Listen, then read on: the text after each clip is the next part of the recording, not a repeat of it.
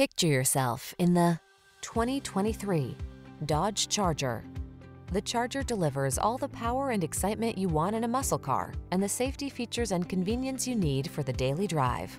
The following are some of this vehicle's highlighted options.